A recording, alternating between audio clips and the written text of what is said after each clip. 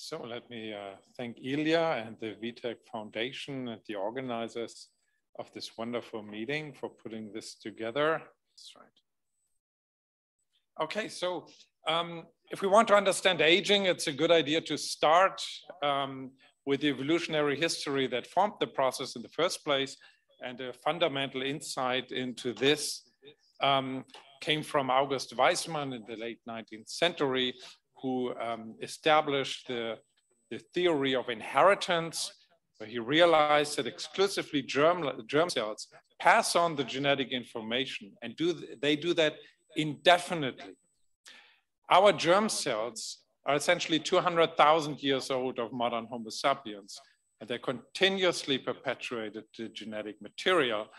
Um, when he realized that germ cells are sufficient to transfer the genetic material, Weismann also realized that indefinite maintenance of the soma would be completely futile in terms of offering any sort of fitness benefit for a species. So upon establishing the next generation, the soma can age, decay, and die. That's essentially why we're getting sick when we age, because we are not made to live forever. We are just the mere vehicles for our germ cells. So DNA damage is a key driver of the aging process. And that is because our DNA is irreplaceable. It requires constant repair. The DNA in each one of our cells is subjected to tens of thousands of DNA damage events every single day of our lives. It can come from the environment or from the endogenous metabolism. This myriad of DNA damage events has consequences. What we've understood for many decades now is that DNA damage can lead to genetic aberrations, such as mutations, for example, that alter the gene sequence. And if they affect oncogenes or tumor suppressor genes, the result is cancer. We know, know for a long time now that DNA damage is the root cause of cancer. But DNA damage can also stall transcription and replication. And this will lead to dysfunction of cells. DNA damage signaling can become chronic.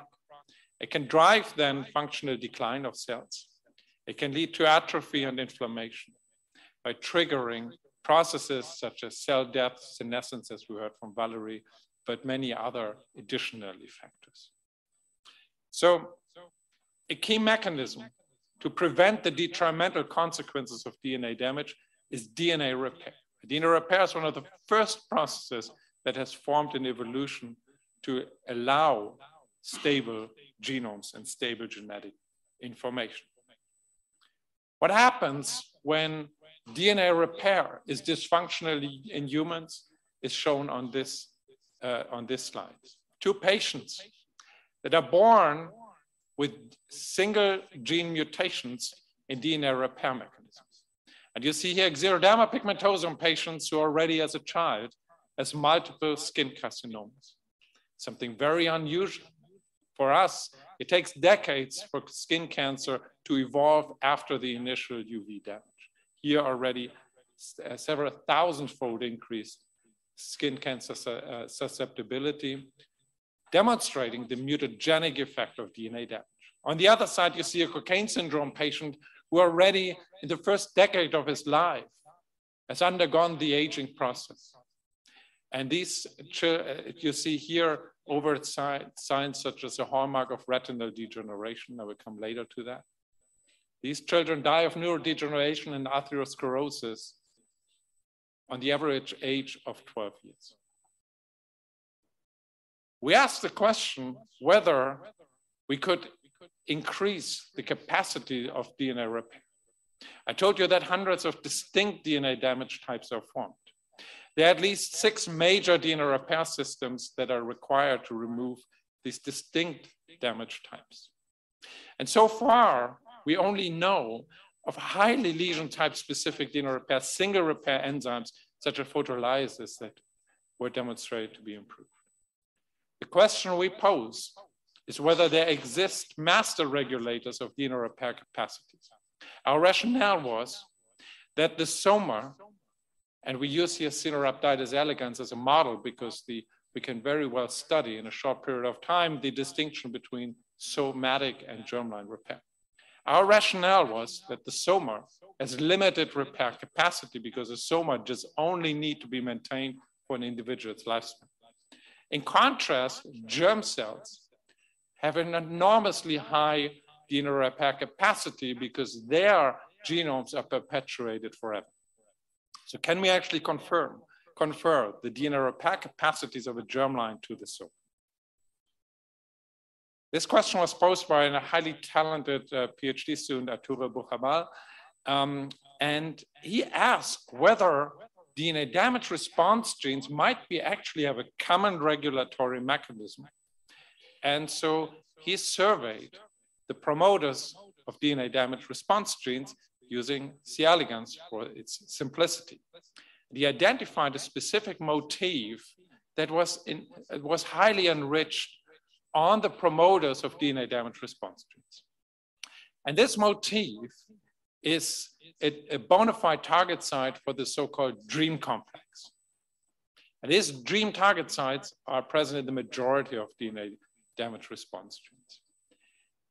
This is a, the dream complex is, uh, is a, a transcription repressor complex that recognizes these specific elements. And we found now that this leads to a repression of a large number of DNA repair genes. And this dream complex is specifically assembled in somatic cells of C. elegans. It's not present in the germ cells. What is the consequence of that? The first thing we tested using um, C. elegans worms, L1 animals, that normally undergoes within the, the, the next 48 hours the full developmental program.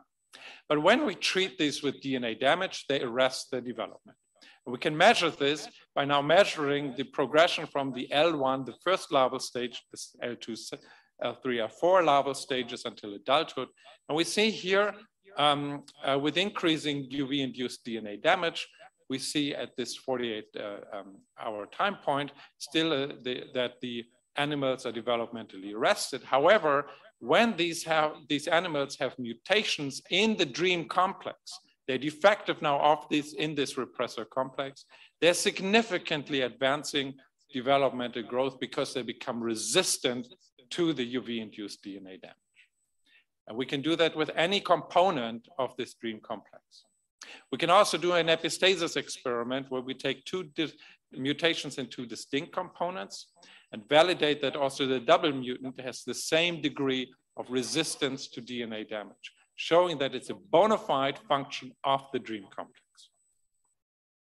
We can also look at lifespan. We can promote in, in humans, it's sufficient to have one DNA repair defect and the human ages within one decade. In worms, we need exogenous DNA damage to produce this. And that's what we're testing here in the solid lines. We're treating um, with, with DNA damage, and we see a significant lifespan extension um, uh, of DNA damage-driven aging in C. elegans by distinct components mutated in the dream complex. Then we ask whether really whether this is due to an enhancement of DNA repair. The most well-characterized type of DNA damage are thymidine dimers that are formed by UV radiation. We can visualize these dimers that are formed with a specific, uh, with the lesion specific antibody. Is what we do here on a slot blot. And we see that there's only, that after, immediately after UV, these lesions are formed in the, in the DNA. And there's a removal, a gradual removal of these lesions here. However, in mutants, FLIN52, DPL1, subunits of the dream complex, this repair is accelerated. It's far more efficient. Quantified here. It's a far more efficient removal of these lesions. So repair is enhanced. We can also show that in the adult worms, here we use now immunofluorescence. We see the CPD lesions. Most of these cells here, the heads of the animals are neurons. Um, there's a, a gradual rem removal in wild type, but a much more rapid removal in the LIN52 mutants that are defective in dreams more efficient DNA repair. Then we uh, we uh, performed a transcript, an RNA-seq analysis, looked at the expression changes in these uh, DREAM mutants, Lin52 mutants, and we saw here a derepression, if the repressor complex defect, de-repression of a large number of genes that were involved in DNA repair. And what was really, has never been seen before, is that the induction, the genes that are induced here, operate in all different DNA repair mechanisms. Nucleotide excision repair, inter-cross-link repair, base excision repair, homologous recombination repair, mismatch repair, and non-homologous end joining. Genes operating all of these systems are now de-repressed and are elevated. Just go very quickly over this. We test it now because there are so many different repair mechanisms that are now augmented. Do these animals become resistant to all these different types of DNA damage, not only UV? And indeed they do. Ionizing radiation, significant um, uh, resistance. Um, uh, alkylating lesions, a significant resistance. And also cisplatin, a DNA damage agents frequently used still in tumor therapy, significant resistance. And also single mutations in DNA repair genes can be suppressed because other repair mechanisms are enhanced. It's an interesting experiment, a different type of experiment. Here we used an embryo. These embryos undergo most rapid cell divisions of somatic cells to form a larva. When we use ionizing radiation to induce double-strand breaks, these embryos die. And this is quantified here with increasing ionizing radiation in black, the wild type. Lin52 mutation is sufficient to, um, to in, increase resistance even in the proliferating cell types here to double-strand breaks. And what is more, we can suppress a BRCA-BART mutant uh, that is highly sensitive to double-strand breaks equivalent to carriers in humans of BRCA mutations, we can, a LIN52 mutation is sufficient to completely revert the sensitivity. You might wonder, what do we care about worms? What about humans?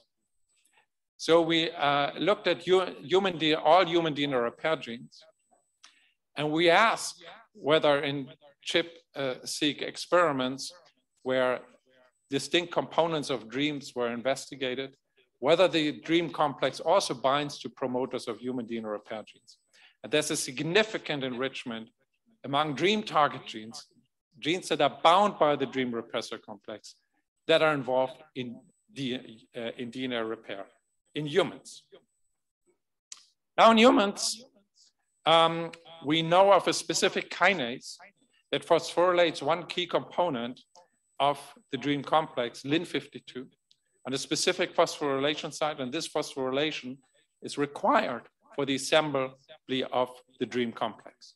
So what we tested as a proof of concept here is to inhibit the DYRK1A kinase that uh, deposits this specific phosphorylation with two independent types of inhibitors, the natural component harmine and an independent inhibitor, the chemical int and tested whether we would find the same that we identified in C. elegans, which is that upon disassembly of the dream complex, we would also have a de-repression of DNA repair genes that could then lead to prevention of cancer by reducing mutations and by promoting longevity by um, enhancing genome stability. Now, do these, uh, do these um, inhibitors function? And um, so we use RNA-seq, these two ind independent inhibitors in human quiescent cells. We find a de-repression of DNA repair genes, the same as we find in C. elegans.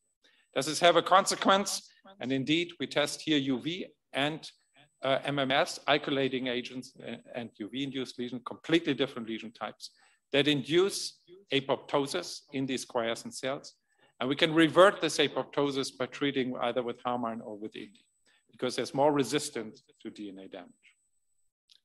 Can we use this in an in vivo model? And we used here age-related macular degeneration as an intervention target. We know that DNA damage, such as triggered by a defect in Cockayne syndrome, I showed to the patient, in the mice, it also leads to loss of photoreceptor cells. They undergo apoptosis. We find in human um, uh, AMD patients a reduction in the expression of the very same repair gene types, transcription coupled nucleotide excision repair. This downregulation is linked to the macular degeneration. Here we use a mouse model that has an ERCC1 knockout. Um, and we looked at the retinas after we treat these animals for, with Harmine for two weeks with the inhibitor of DYRK1A. And then we look here at the induction of apoptosis in the photoreceptor cells, and we see a significant reduction of apoptosis. Why is that? That is linked to a reduction of DNA damage. Here we use gamma H2AX uh, to, to, to uh, quantify the DNA damage that is accumulated in these animals, and we can revert this DNA damage with the inhibitor of DYRK1A. So I conclude that we identified here DREAM, the DREAM repressor as a master regulator of DNA repair capacities. DREAM mutants and C. elegans elevate resistance to DNA damage by improving DNA repair kinetics. DREAM mutants derepress somatic uh, expression of DNA repair genes and confer germline-like repair capacities. This DREAM complex inhibition in quiescent human cells elevates the resistance to distinct DNA damage types. And in vivo, we show that DREAM inhibition um, protects from retinal degeneration, a bona fide um, aging feature that we can readily quantify as a proof of concept. And the DREAM inhibition thus offers a pharmacological route to enhance genome maintenance to prevent DNA damage driven cancer development of aging. That's what we propose um, and want to um, base upon this work. And uh, I think uh, I think the the major um, driver of this work in the lab, Arturo, and uh, I think also our collaborators, um, Georgina and, and um, uh, uh, Kalina in the George Garinis's lab who did the mouse work here. Um, and I thank you for your attention. Thank you.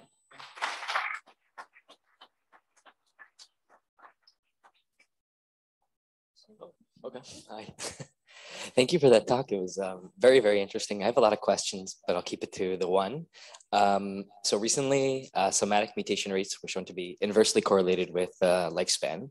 Um, and you brought the example of patho uh, human pathogenicities that are um, so-called uh, lifespan uh, or aging, uh, early aging is there um, any knowledge about what their mutation rates are and also what kind of mutations are occurring there, right? There's also this uh, issue of mutational signatures that was brought up.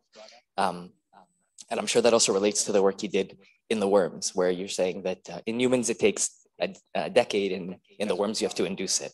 Um, thank you. Yeah, thank you very much for these uh, very interesting questions. Uh, so indeed, uh, um, somatic mutation rates increase uh, with aging, and uh, this is very much related to the species-specific maximum lifespan, at least for uh, mammals. Um, and I think this will be very interesting to look at now. We haven't looked at that now yet. We haven't yet looked at the somatic mutation rates, how they are effective. We are very interested in doing that. In C. elegans, actually, nobody has looked because they are post-mitotic cells, so nobody has done that. We're starting to do this now.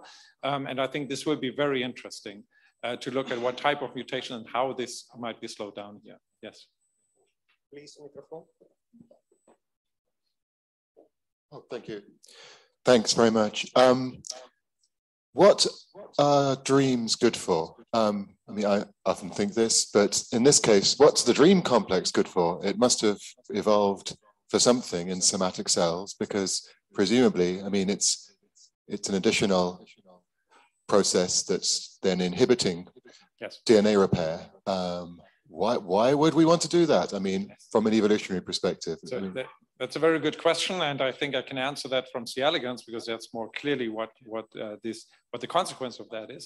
So switching off um, uh, somatic DNA repair um, allows to save resources for the animal. So if we eliminate dream, we do have a slight decrease in fitness, in uh, fertility of the animals. It's rather slight, but of course on an evolutionary scale, this, this could have an effect. So um, it's probably saving energy. Dream, of course, also re, uh, re represses a lot of cell cycle genes. That's also another function of, of dream.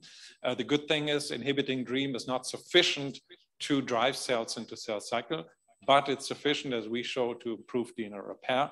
Um, so uh, I would argue that it's a, it's, a, it's a very safe type of target. Um, but the reason probably that this, this mechanism evolved is just by diverting resources because investing more in elevated somatic DNA repair is just uh, futile in terms of the fitness of a, of a species, which means the long-term reproductive success, which only requires this level of DNA repair on the germ cells. My question is, uh, you mentioned that there are uh, more than 100 uh, different kinds of uh, DNA damages. Um, and my question is, uh, do all of them have the option to be uh, repaired by the enzymes or there are, are there kinds that cannot be mended in any way? So all types of DNA lesions um, can be repaired. There are repair mechanisms for that. Otherwise, uh, this will be incompatible with life. They have to be repaired with different efficiencies. There are lesions that are not being repaired. One example are senescent cells. There are um, persistent strand breaks accumulating in senescent cells that are just not being repaired. They could be repaired if the repair capacities were there, but probably because essential repair mechanisms are repressed in such cells by, for instance, the dream complex, these are not repaired. So uh, yes, by um, uh, there are repair mechanisms to restore any type of, of DNA lesion. Okay, thank you. All right. Okay, thank you very much.